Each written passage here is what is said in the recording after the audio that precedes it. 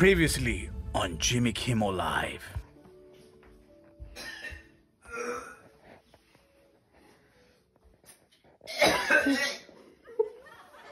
Merry crisis. Yeah.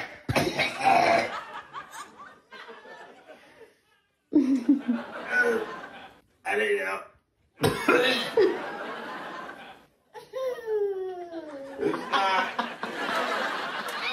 Dude. From Hollywood, it's Jimmy Kimmel Live. Tonight, Tiffany Haddish, Jeff Ross, and music from Tate McGrath with Cleto and the Clitos. And now, Jimmy Kimmel.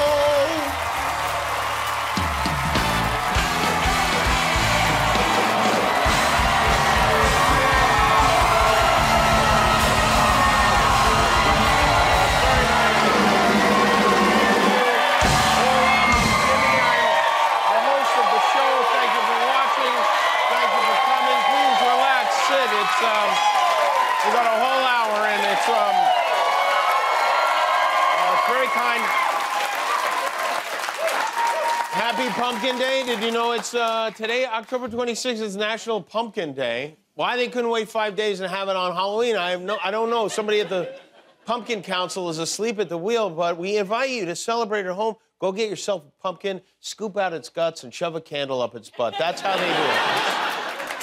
hey, um, speaking of old gourds, the Golden Bachelor is one step closer to choosing the woman he'll spend the rest of his week with. Next week, I have to say, I've been looking forward to what is going to happen next week ever since they announced they've been they were doing the show. Next week are the hometown visits, which usually means you meet the parents, but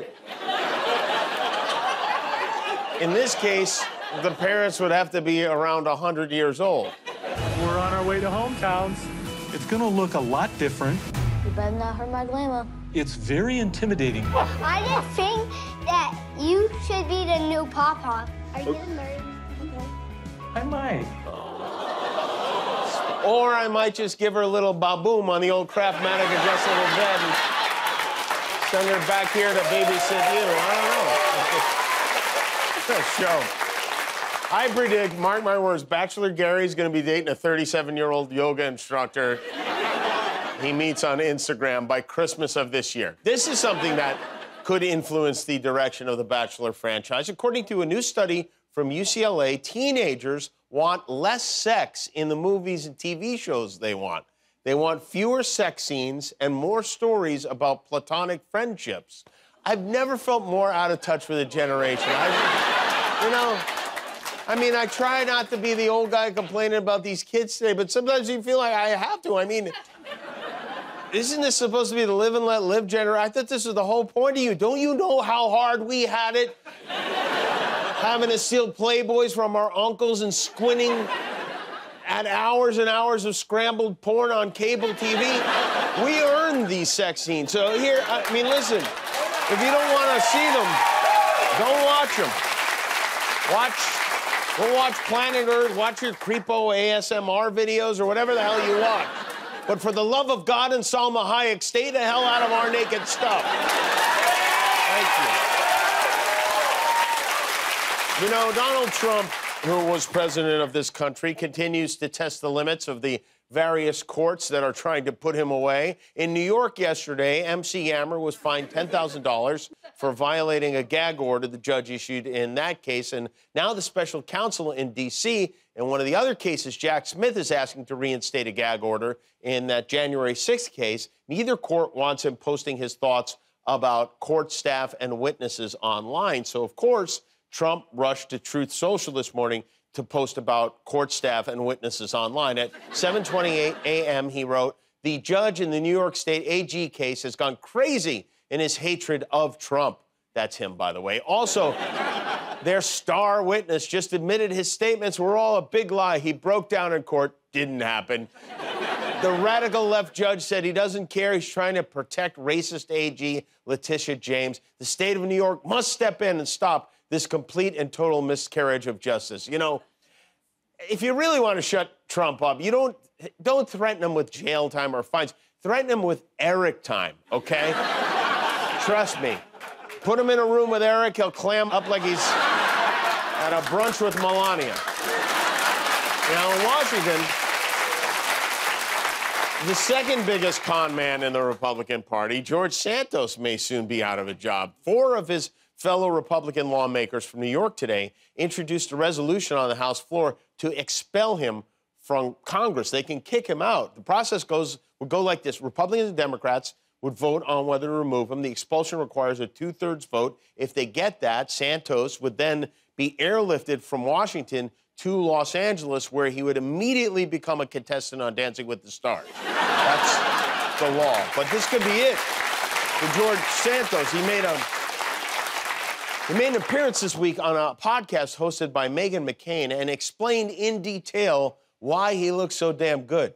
In January 2022, I weighed myself in at 350 pounds and I said, no, mm-hmm. this has to change. And then December of 2022, I weighed myself in before the new year rang in and I was 251 pounds. That's fantastic. 99 pounds. How in did you do that? Diet exercise. I also was diagnosed as pre diabetic and I had to go on a drug to lower my A1C. And a lot of folks. Is it Ozempic? Yes, it Was. totally helped. And it's fantastic. I love it.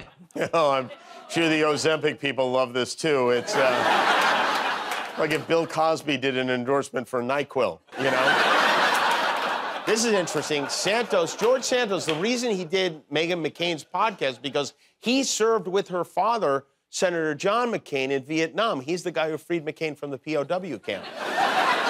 Taylor Swift has a new Taylor Swift album coming out tomorrow. She's releasing a cover version of her own album, 1989. It's not just the name of the album, it's also the number of times Taylor Swift can get people to buy the same album. I mean, just when you think we've reached peak Taylor Swift, she drops an album from 10 years ago and we buy it again.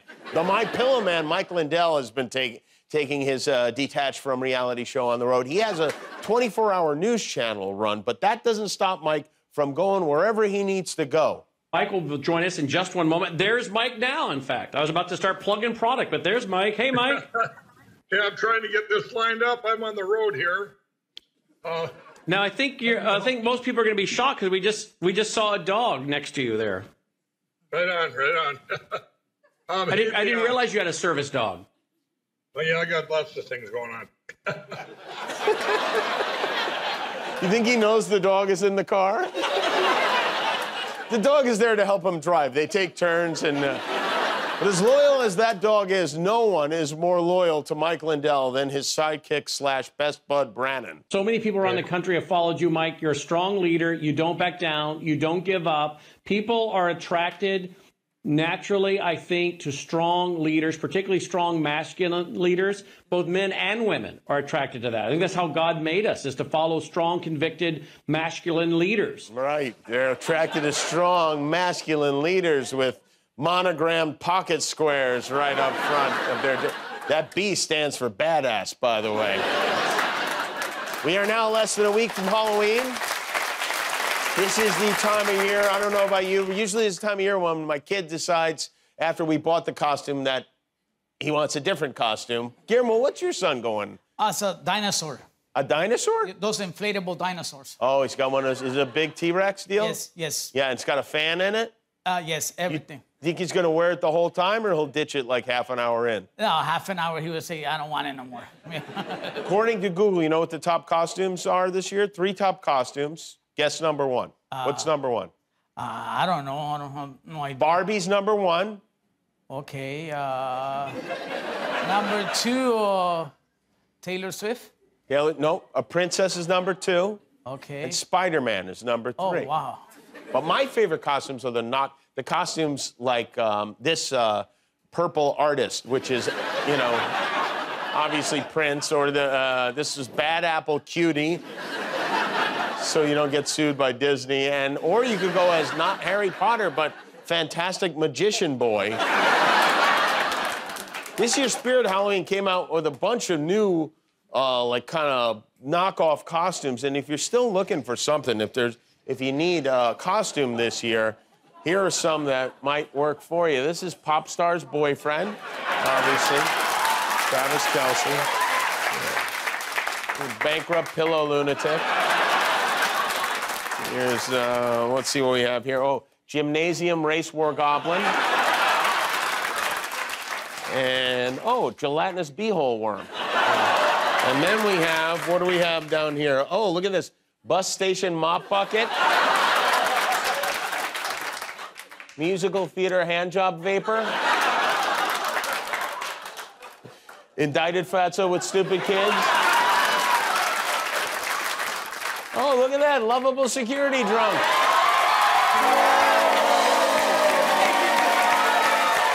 We have a special guest on our show tonight. Our old pal Jeff Ross is here. Jeff has a new one man show. It's called Take a Banana for the Ride. Jeff is well known for his roasting, his off the cuff assessments of others. And to celebrate Halloween, we sent him to a pumpkin patch not far from here to do what he does best roast kids who showed up in costume.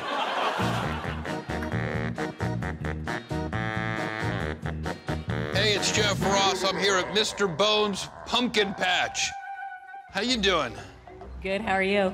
I love your Karen costume. oh, it's America's mayor, Rudolph Giuliani. I've wanted to date your mom. Come on, that's good, right? I love your costume.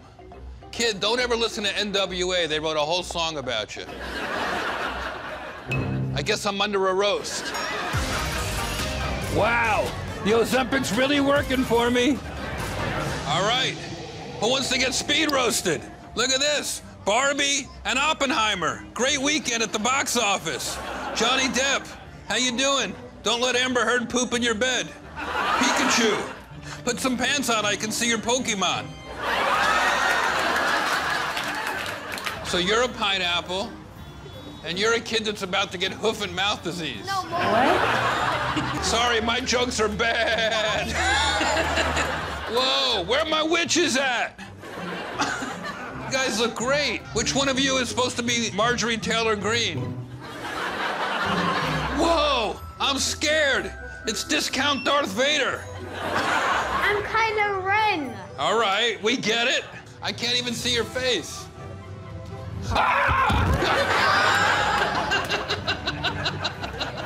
You scared me. Ooh. Oh. you also cut your hair with a lightsaber? No! Hi there. How you doing? Whoa. I always wanted to meet Lenny Kravitz's drummer. Wow, so you're a teenage mutant ninja turtle with that haircut. Hey, where's Shredder when you need him? At least I have hair.